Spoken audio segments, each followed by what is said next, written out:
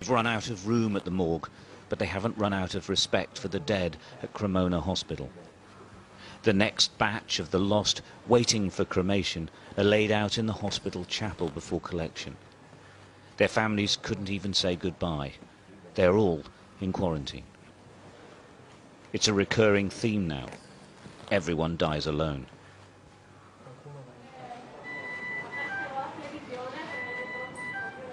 They came from here, the hospital's intensive care unit, which is on the brink of collapse. This is what it looks like when the virus overwhelms, and here in Lombardy, it's overwhelming.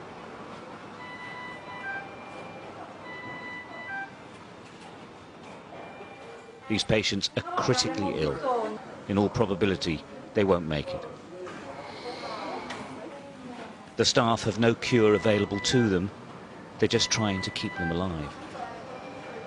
Every 13 to 16 hours, they turn the patients over to relieve the pressure on the lungs. Without doubt, she wouldn't survive without constant attention. The patients are highly contagious. Where possible, they're observed from a distance, but most of the time, that isn't possible.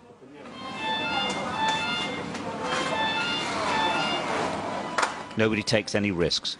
They wash and sanitize constantly. Gloves, masks and protective clothes are regularly changed. In truth, these men and women are exhausted. The system is at breaking point and they are as well. But they keep going. They aren't the front line in this war. They are the only line.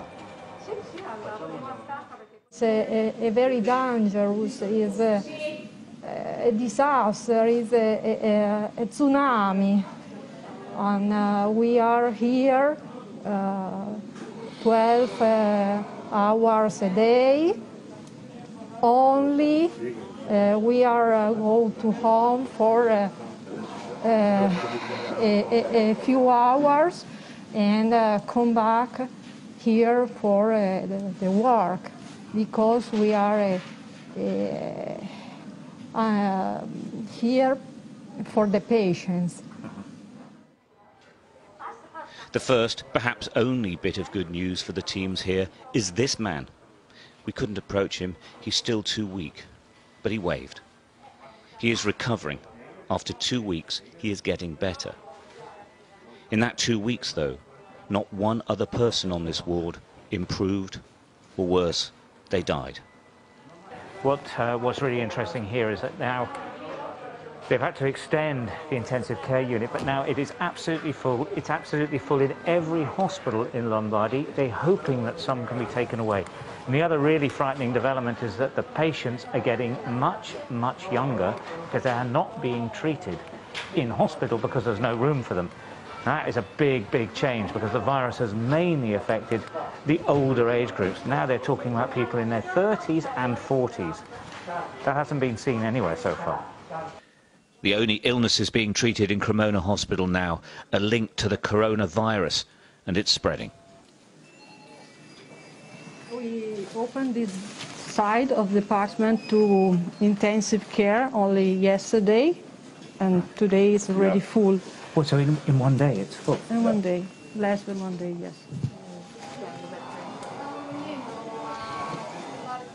Emanuela Catenacci is a neurosurgeon normally, now she's working in intensive care. She asked to send a message to the world.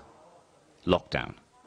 If you can see what's happened in other country or in other part of your country and wait to do something, I think now it's not more an option. Mm. Maybe at the beginning we didn't know exactly what would be happen, but now we know what happened. It's you, you don't don't don't think that uh, it's happening here and it can't happen everywhere else. It will. Because it will if you don't do anything to stop it. In Lombardy, they haven't run out of hope, but they're struggling with pretty much everything else. They're waiting for the epidemic to peak, but it could be weeks. It could be much longer. Stuart Ramsay, Sky News, Cremona, Italy.